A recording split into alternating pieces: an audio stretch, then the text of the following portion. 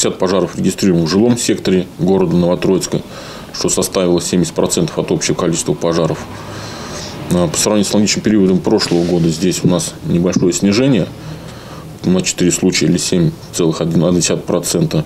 Но при этом также регистрируем увеличение а, пожаров именно в частном жилом фонде. Увеличено количество пожаров с 22 случаев до 32 или на 12,5%.